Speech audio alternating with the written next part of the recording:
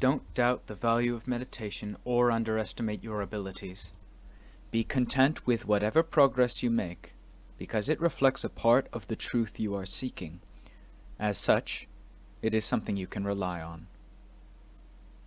Blessing of a Lifetime Ajahn Sao spent three years living in the vicinity of Ban Hui Sai village, first in one forest location, then in another. By the time he departed Kam Chayi district and wandered north, the religious landscape in the area had been altered for good. So influential was Ajahn Sao that most of the locals now favored Buddhist practices over spirit worship. Tapai's father had accompanied Ajahn Sao as he moved to different places in the area, suggesting new secluded spots and working with his friends to construct small bamboo shelters for him and his disciples. As much as anyone, he was pleased by the Buddhist renaissance spreading through the community.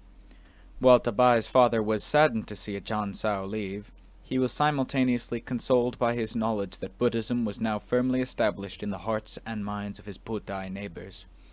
Little did he suspect, though, that Ajahn Sao's departure would be succeeded by the arrival of the most revered Buddhist master of them all. Ajahn Mun Bhuridatta was a legend in the making. The story of his life and spiritual attainments were to gain an exalted status unparalleled in modern Thai history.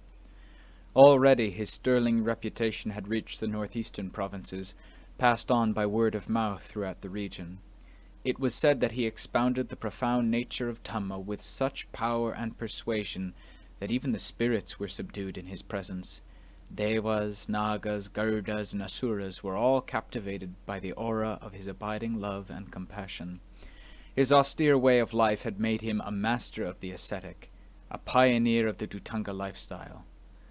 His disciples, the monks who lived by his example, had become his legion, and he guided them with the uncompromising discipline of a consummate spiritual warrior. It was rumored that by meeting Ajahn Mun only once, one would be bestowed with a lifetime of good fortune. A true wanderer, Ajahn Mun rarely stayed in the same location for more than one rains retreat. After the rains ended, he and his monks roamed freely, unburdened, through the vast northeastern wilderness, like birds at ease, flying peacefully to wherever the wind took them.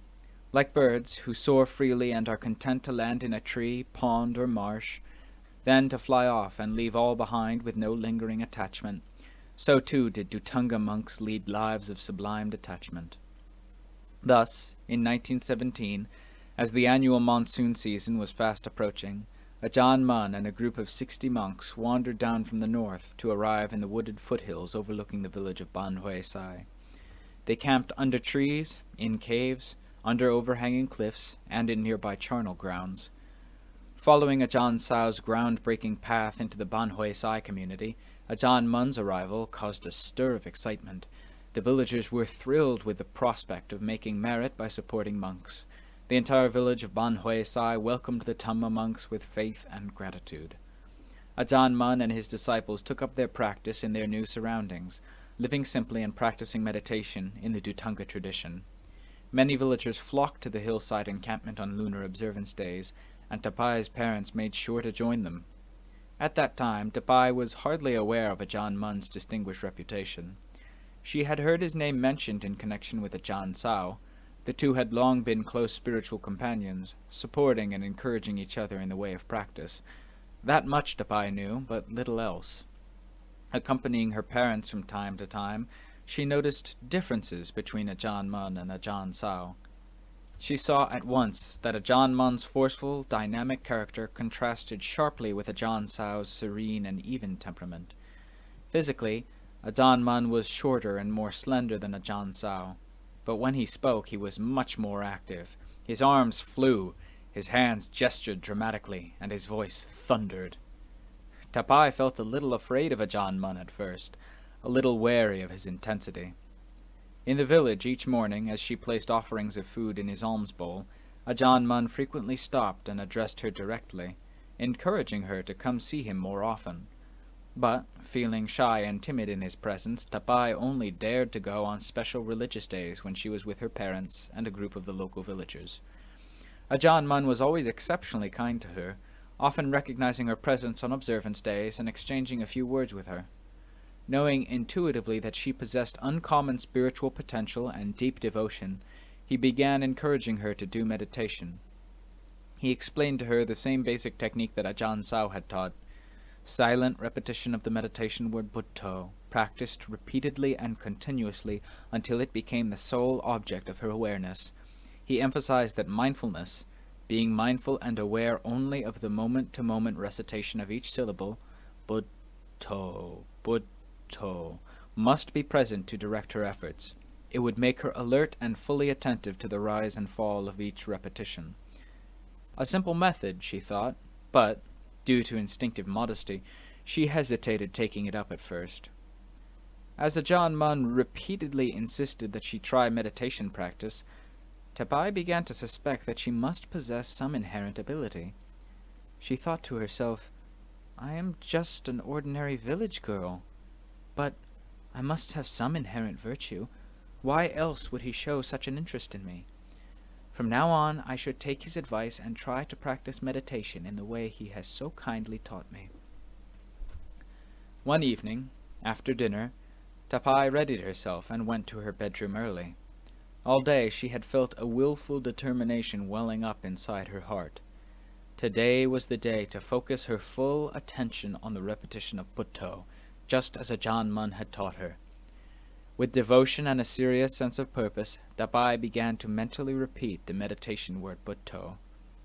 After about fifteen minutes of steady, deliberate recitation, her conscious mind suddenly dropped down to the heart and converged into a profound state of quiet stillness. It was as though she had instantly fallen to the bottom of a well, where her body and mind vanished into silence. The experience was so new and so extraordinary that she had no idea what had happened to her.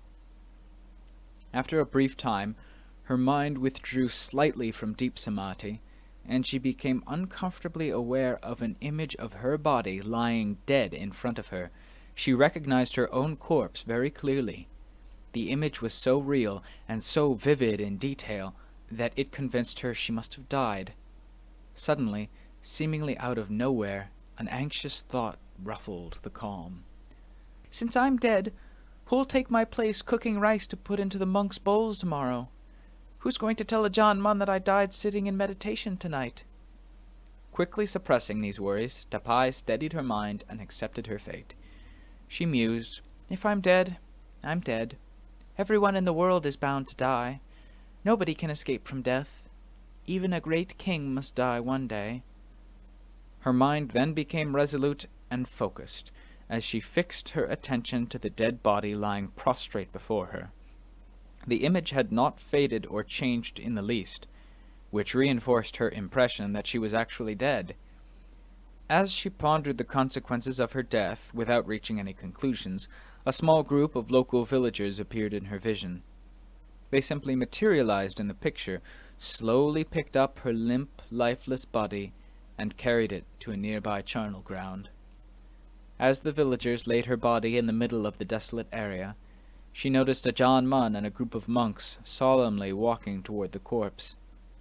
Ajahn Mun stopped in front of it and gazed down for a moment before turning to the monks to say, This girl is dead.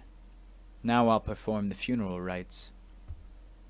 As the monks looked on impassively, heads slightly bowed, Ajahn Mun softly intoned the funeral chant, Anittavata Sankhara. When the components that make up the body have died, the body is no longer of use. The heart, however, does not die. It goes on working ceaselessly. When it develops in the way of virtue, its benefits are unlimited. But if it is used in harmful ways, it becomes a danger to oneself. With calm deliberation, Ajahn Mun slowly repeated this dictum three times in succession. Standing tall and perfectly still, except for the movement of his arm, he tapped her corpse three times with his walking stick, declaring with each tap, The body does not last. Having been born, it must die. The heart, however, does last. It is never born, and it does not die when the body dies. It is constantly in motion, spinning and shifting, following the causes and conditions that lead it on. Continuing to tap the corpse rhythmically with the tip of his walking stick, Ajahn Mun appeared to reiterate this truth over and over again. With each gentle tap of his stick, her body started to decompose. First the skin blistered and peeled, exposing the flesh beneath. Further tapping rotted the flesh and sinews, revealing the bones and inner organs. Entranced, Tapai watched passively as her entire body quickly decayed until only the hard bones remained intact. Placing his hand in the skeletal debris, and picking up the kernel of the heart in his palm, Ajahn Mun announced, The heart can never be destroyed. If it were destroyed, you would never regain consciousness. Tapai witnessed the unfolding of the entire scene with a mixture of awe and trepidation. She was not sure how to understand it. When Ajahn Mun finished speaking, she puzzled. If the whole body decomposes at death, leaving only the bones behind, what is it that regains consciousness? Still looking at the kernel in his hand and without lifting his gaze, Ajahn Mun immediately answered her thought. It's bound to return. How could you not regain consciousness when the kernel that brings it back is still there? You will regain consciousness tomorrow morning at dawn. Tapai spent the entire night seated in meditation, completely absorbed in the vision of her dead body. Only at the first light of dawn did her mind withdraw from deep samadhi. As she was becoming aware of herself, she looked down at her body, seated on the bed. She realized, with a sigh of relief, that she had not died. Her normal waking state had returned, and she felt pleased to be alive. But then, as she pondered the night's events, she began to chide herself for falling asleep and dreaming throughout the night when she should have been meditating instead. She was sure that Ajahn Mun would be disappointed with her. Later in the morning, Ajahn Mun passed by her house on his daily alms round. As Tapai placed food in his alms bowl, he looked at her quizzically. Then he smiled, and told her to come see him when he had finished eating. Her father accompanied her on the familiar walk to Ajahn Mun's encampment, unsure why she was asked to go. Could there be a problem? Tapai walked silently, brooding and feeling ashamed of herself for falling asleep in meditation. What was she going to tell Ajahn Mun?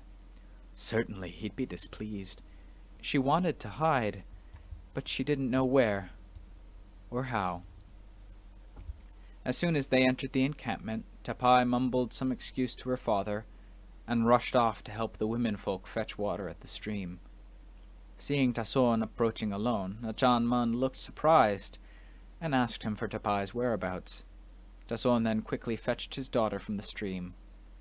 Nervous and uneasy, Tapai crawled to where Ajahn Mun was seated, and bowed down three times before him.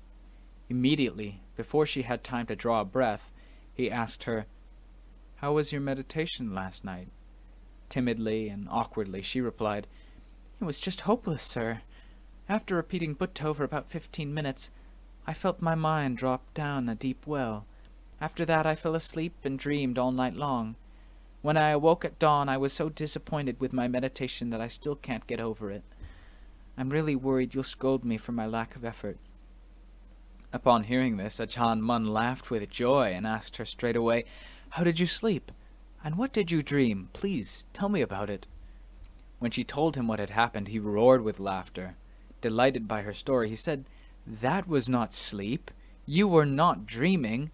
What you experienced was the calm, integrated state called samadhi. Remember this well. What you thought was a dream was really a vision arising spontaneously from the deep concentration of samadhi. If you have any further experiences of this kind, just relax and allow them to happen. There is no need to be worried or frightened. I don't want you to be afraid, but you must remain alert and fully aware of whatever takes place in your meditation. As long as I am living here, no harm will come to you. But from now on, please come and tell me about the visions that you experience in your meditation.